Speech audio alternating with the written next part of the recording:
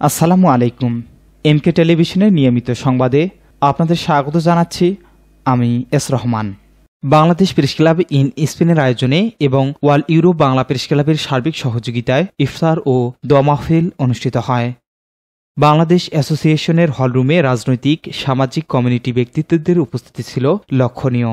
Press club সভাপতি এ K M Zahirul ইসলামের সভাপতিতে এবং সাধারণ সম্পাদক বকুল খানের সঞ্চালনায় প্রধান অতিথির বক্তব্যে স্পেন দূতাবাসের হেড অব সেঞ্চুরি এবং মিনিস্টার হারুন আল রশিদ বলেন প্রবাসের সাংবাদিকতা খুবই চ্যালেঞ্জিং, কেননা তারা মূল্যবান সময় দিয়ে দেশ ও কমিউনিটির পক্ষে কাজ করছে। প্রবাসের বুকে এক টুকরো বাংলাদেশ নতুন প্রজন্মের কাছে পরিচয় করে দিচ্ছে।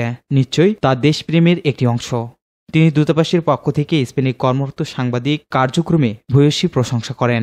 অনুষ্ঠানে বিশেষ অতিথি হিসেবে বক্তব্য রাখেন বাংলাদেশ অ্যাসোসিয়েশনের সভাপতি কাজী ইনায়তুল করিম তারেক, সাবেক সভাপতি A S I R Robin, community ব্যক্তিত্ব মোজামেল হক মনু, সোহেল ভুইয়া, ইমাদত হাওলাদার, ফ্রান্স বাংলাদেশ প্রেস ক্লাবের দপ্তর সম্পাদক আবুল কালাম মামুন, জাকির হোসেন, দুলাল সাফা লুৎফুর রহমান, আব্দুল মুস্তাকিম মুজাক্কির, আব্দুর রহমান, রাসেল দেওয়ান, ইসলামউদ্দিন আয়ুব আলী সোহাগ আব্দুর রাজ্জাক জসিম উদ্দিন খায়রুজ্জামান জামান, নাজমুল ইসলাম নাজু, শামীম মিয়া, ইকরামুজ্জামান কিরণ, হেদায়েত খান, আখতারুজ্জামান আক্তার, আবুল হোসেন মাসুদ উদ্দিন রুবেল খান, রানা আবেদিন, এস এম, আসলাম ভুইয়া, মানিক ট্রান্সফারের পরিচালক নাহিদ আনোয়ারুল, আসাদুর রহমান ছাদ, এফ এম ফারুক পাভেল, আবেদুর রহমান জসিম সহ আরও অনেকে।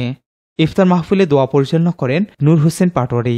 অনুষ্ঠানের শুরুতেই কোরআন তেলাওয়াত করেন সাংগঠনিক সম্পাদক ফখরুদ্দিন রাজি। প্রেস ক্লাব থেকে বক্তব্য রাখেন সিনিয়র সহসভাপতি জাহিদুল হক মাসুদ, সহসভাপতি সেলিম আলম ও ইব্রাহিম খলিল। যুগ্ম সম্পাদক দবির তালুকদার, তরুণ সাংবাদিক হুসেন মোহাম্মদ ইকবাল, হানিফ মিয়াজি, প্রধান অতিথি হারুন আল রশিদ। নতুনভাবে বাংলাদেশ প্রেস ক্লাবে যুক্ত হওয়া সাইফুর রহমান, মনিরুজ্জামান টিটো, মাসনুন জুয়েলকে ফুলের তোড়া উপহার দেন।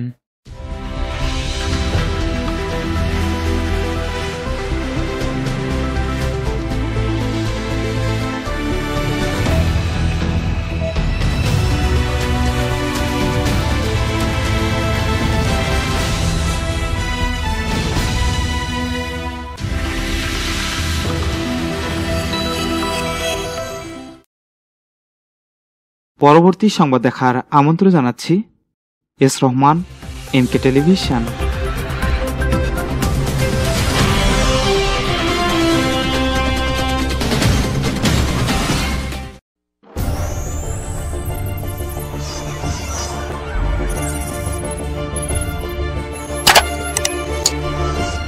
আপনারা দেখছেন এম কে টেলিভিশন।